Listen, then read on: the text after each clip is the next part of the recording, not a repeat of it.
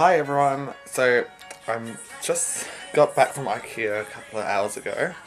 I bought myself a new green screen. Oh, well it's a cost, it costs like 8 bucks. 8 dollars.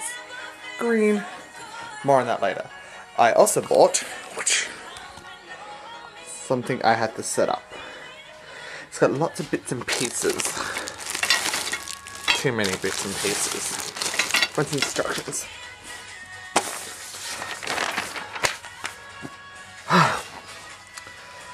Something tells me I'm going to take forever to make this. Forever.